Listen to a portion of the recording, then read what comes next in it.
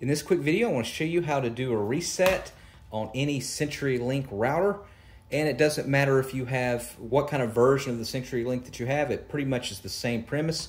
I want to first show you how to do a soft reset, and then I want to show you how to do uh, a hard reset in case you forgot your password or something. So a soft reset is if you just need a refresh, you're having an issue with your Wi-Fi, and you've been recommended to do a soft reset. You might have a DSL light here that keeps blinking. That means that you're not getting service. So the only thing you have to do is just simply unplug it from the wall or unplug the power cord from the router and keep it unplugged for about five minutes and then plug it back in. That will remedy a lot of issues. Now, if you want to do a hard reset, let's say you forgot the password on your router and you want or you want to resell it and you don't want the old password to still be on there. It's fairly simple to do. Only thing you're going to need is like a safety pin or a uh, paper clip or a small precision screwdriver like this or a little nail.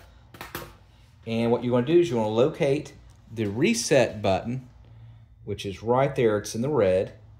And while it's while it's on, what you're going to do is take your paper clip or your safety pin or whatever you have, and you're going to hold down, and you'll feel you'll feel it. You'll feel the little click when you press down. And what I want you to do is just hold that for about 15 to 20 seconds. Just make sure that you go over and you don't let go. Now what this is going to do, it's going to do a full factory reset on there like it's brand new out of the box. And what will happen is it will default to the old password. And that's what you can use to, to initially log into your, to your router. And that password is usually going to be on the back. As you're going to see here, there's the password key phrase there is your password right there.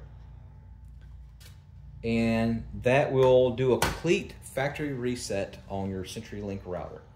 Thanks for watching. Make sure you subscribe.